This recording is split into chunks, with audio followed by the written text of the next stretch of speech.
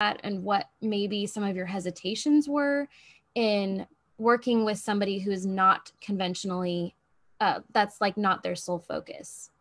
Yeah. Well i mean in the past we'd already spent like thousands and thousands of dollars uh, going to uh, people where they're experts in their field. You know they've done this for 30 years um, you know and uh, and not seeing results that you know we're maybe necessarily looking for or even answers that we're really mm-hmm. hoping to find and right. even like paying for labs and imaging and not really having them explain what any of it means it's either good or bad not wow how can i improve but like oh if you want to do that here's a pill or you can just exercise more like just blanket solutions that right.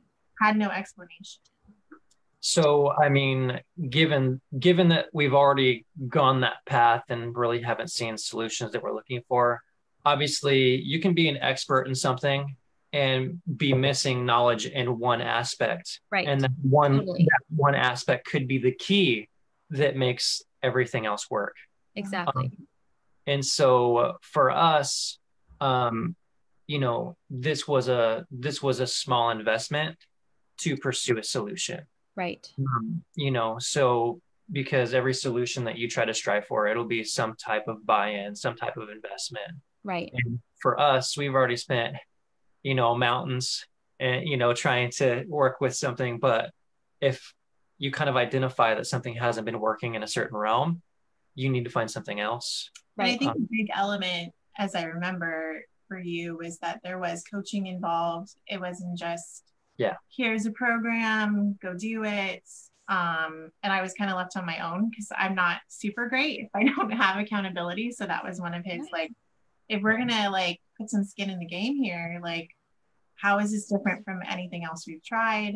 You know 100% yep. you know is there research to back this up? You know how does andrea know if this works or not for you? And you know i think a part of a part of it was that she this was your life story. Like this yeah. this was things that you've done yourself and that was a huge um, go ahead for you i think that you were coming from personal experience and you had empathy um, about the issues that kind of come up as you're getting better because it's not just you know do all these little steps there's other right. things involved and with having that coaching i think made the difference why this program you know, why we went for it.